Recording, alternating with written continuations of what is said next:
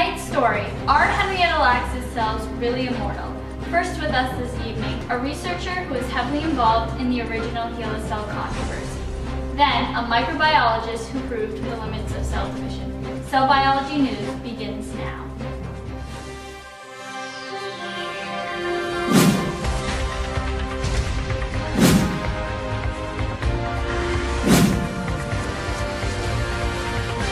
From CBN headquarters in Boston, this is Cell Biology News with Michelle Kennedy. Good evening. Her name was Henrietta Lacks, yet scientists know her as HeLa. Her cells were taken without her knowledge and became one of the most important tools in medicine. They were the first human immortal cells grown in culture and were vital for uncovering secrets to diseases such as polio. Yet Henrietta Lacks herself remains virtually unknown. Here with us tonight from Johns Hopkins Hospital in Baltimore, Maryland, is Mary Kubicek, the former assistant of George Gey, who was the former head of the Tissue Culture Research Laboratory at Johns Hopkins Hospital. Thank you for joining us today, Mary. Thank you for having me. Now, there's a huge ethical controversy over these cells. Can you tell us how you felt about working with them and what your role in researching them was? Well, I, as Gey's assistant, was actually the one who cultured the cells for the first time. And I mean, HeLa cells were used for research on major scientific breakthroughs. But it is true you did not obtain permission from the Lackses and think about how you were gaining benefits from Henrietta and her cells. No, I did not obtain permission.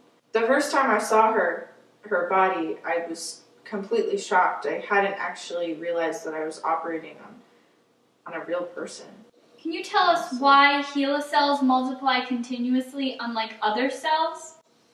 Well, HeLa cells are unlike normal cells who have 46 chromosomes because they have 76 to 80 mutated chromosomes. And scientists think that these chromosomes are mutated because of the HPV virus. So HPV will insert its DNA into a host cell and bind on the P53 protein and therefore inactivating it so it can't regulate the cell cycle and suppress unnatural growths from cells. And basically if your P53 is not functioning properly, it can lead to cancers just like Henrietta's. Okay, Ms. Kubicek, thank you for coming and sharing all of this with us. Thanks for having me, Michelle. Now on the phone tonight is Dr. Hayflick, the scientist who, in observing the behavior of HeLa cells, deduced the immortality of cancer cells. Thank you for joining us today, Dr. Hayflick. The pleasure is all mine. So can you please explain what you observed from the HeLa cells and what your stance is on the ethical issue? Yes, I demonstrated that normal human cells divide 40 to 60 times before cell death. This is now known as the Hayflick limit, which is one of the most important principles in cancer and aging research. Not adhering to the Hayflick limit, HeLa cells exhibit immortality and divide indefinitely. As far as ethics, I believe that patients undergoing operation must give consent and be informed of the subsequent intended treatment of their cells.